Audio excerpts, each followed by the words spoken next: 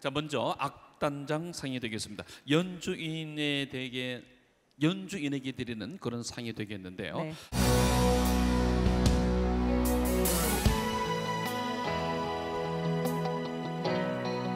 발표 시상은 박찬일 그린 팝스 오케스트라 단장께서 하겠습니다.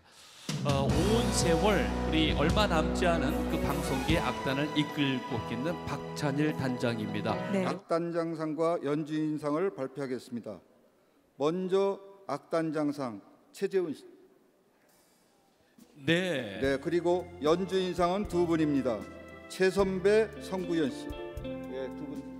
축하드립니다. 예, 축하드립니다. 네, 최재훈님, 최선배님, 네. 성구현님이십니다. 네. 네. 자, 세 분에 대한 시상이 이어지겠습니다. 최재훈님. 네.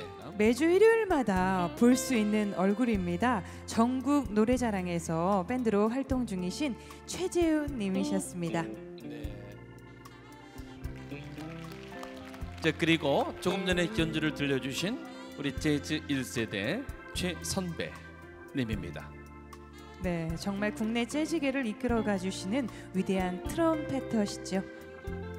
많은 후배들에게 교감이 되는 분인데요. 네, 그리고 성구현님. 네. 이곳 고양시에서 정말 많은 활동을 하며 많은 국민분들께 행복한 음악으로 선사해 주시는 연주인이십니다. 네, 참 자부심이 강하신 분들이신데 네. 어서 오십시오.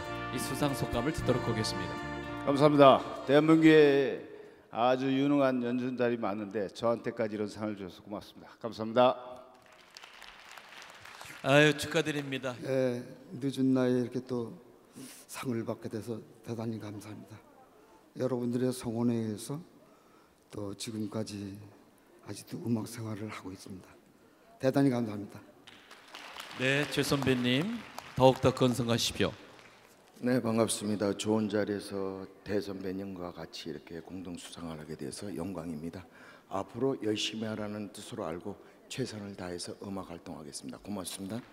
네, 반갑습니다. 아니 저분들이 계셔야 우리 그럼요. 가수들이 노래할 수 있고 네. 또 무대의 주인공들이 뭘할수 있거든요. 네. 지금부터 저 뒤에서 박찬일 악단이 연주하고 있죠. 네, 그럼요.